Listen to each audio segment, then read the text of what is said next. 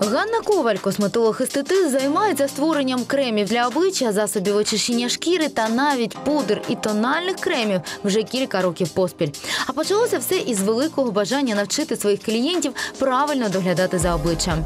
Ганна говорить, креми, що стоять на полицях магазинів, мають велику кількість хімічних речовин, які не завжди гарно впливають на нашу шкіру. Звідси і великий термін придатності. Адже якщо до крему входять натуральні компоненти, то строк його придатності в рази менший. Я готовлю косметику, уже подбирая для каждого типа кожи индивидуально. Добавляются различные ингредиенты, либо противовоспалительные, либо увлажняющие, либо омолаживающие какие-то сыворотки. Э, Поэтому здесь уже безопасное применение приводит к тому, что и кожа наша не страдает, она медленнее стареет и э, реагирует э, буквально за неделю правильного ухода, кожа реагирует очень хорошо на натуральную косметику. Скептично косметолог відноситься і до засобів для очищення шкіри, адже до їх складу входять сульфатні елементи, які її зневоднюють. А от до тоніків, наприклад, дуже часто входять спирти, які викликають лущення та пересушують обличчя.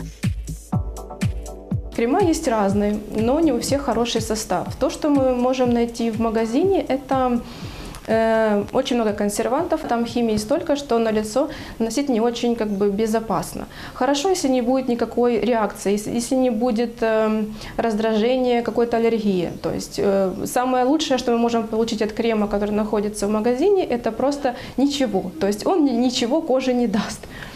В основном это глицерины, это какие-то минеральные масла, которые для жирной кожи могут быть опасны, хотя очень много э, кремов, которые предназначены для жирной кожи, в них как раз есть минеральные масла. Это технические производные, которые создают пленку на лице, кожа не дышит, парниковый эффект, и опять у нас те же самые высыпания, которые мы пытаемся вылечить.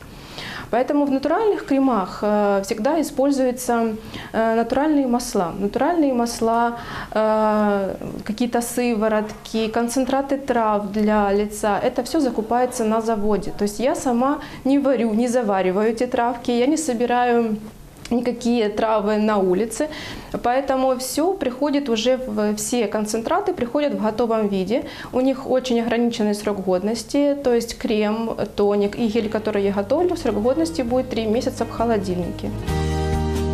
Отож, лише три місяці такий строк придатності кремів із натуральних компонентів. Обов'язковим є і їхнє зберігання у холодильнику. Особливу увагу косметолог приділяє засобам під очі.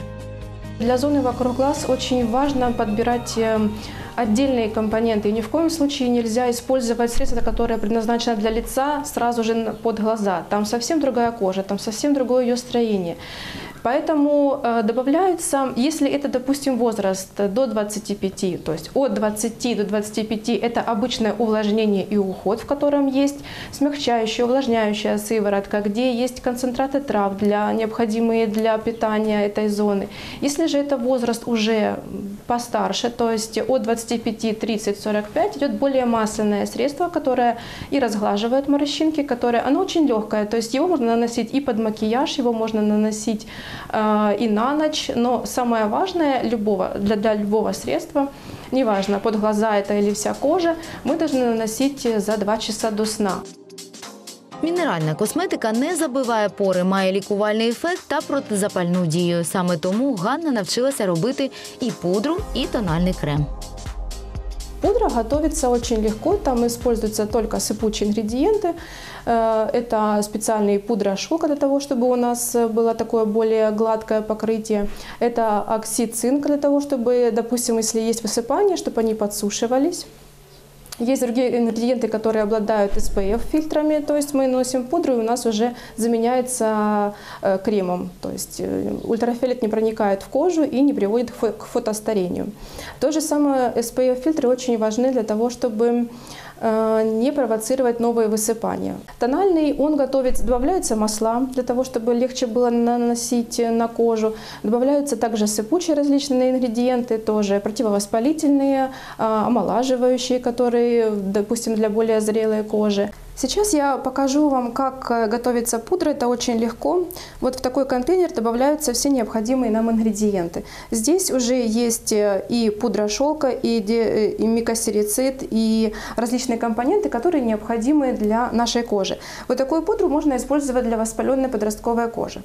Вот это вот коричневое, это у нас пигмент. То есть мы можем, мы сейчас увидим, как поменяется цвет пудры, и дальше сможем его уже корректировать. Это специальный прибор для того, чтобы смешивать наши сыпучие ингредиенты. Он очень хорошо перемешивает. Сейчас мы увидим, как наша пудра перемешается и станет определенного очень легкого нейтрального тона. И уже можно будет как раз посмотреть, какой цвет у нас сейчас есть. То есть это совсем светлый, совсем нейтральный цвет. Поэтому если нам нужно сделать ее более темной, добавляем немножечко пигмента.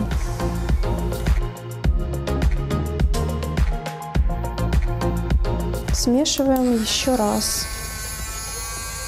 Уже видно, насколько поменялся тон.